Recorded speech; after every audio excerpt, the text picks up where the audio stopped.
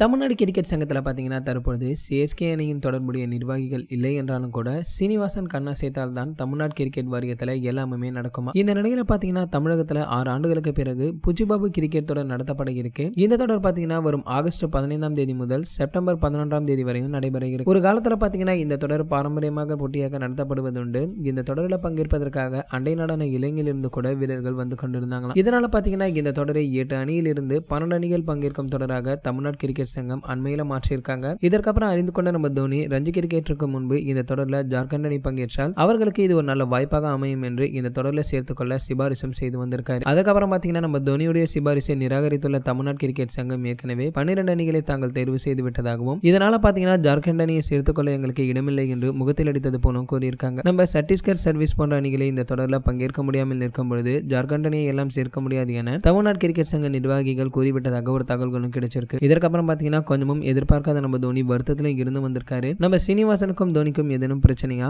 இல்லை சீனிவாசனுக்கும் தமிழ்நாடு கிரிக்கெட் சங்க நிர்வாகிகளுக்கும் ஏதேனும் பிரச்சனை என்பது தெரியவில்லை என ரசிகர்களும் மிகவும் யோசித்துக் கொண்டே வந்திருக்காங்களா சரி ஓகே. இந்த வீடியோ பற்றி நீங்க என்ன நினைக்கிறீங்களோ அது கீழே உள்ள கமெண்ட் செக்ஷன்ல கமெண்ட் பண்ணுங்க. மேலும் இது போன்ற கிரிக்கெட் பற்றி வெளியாகும் அனைத்து செய்திகளை நீங்க உடனே தெரிஞ்சுக்க. நம்மளுடைய கிரிக்கெட் நியூஸ் அப்டேட் நம்ம சேனலை சப்ஸ்கிரைப் பண்ணிக்கங்க. மேலும் பக்கத்தில் உள்ள பில்லைக்கான கிளிக் பண்ணிட்டீங்கன்னா நீங்க நம்ம வீடியோவை மிஸ் பண்ணாம பார்க்கலாம்.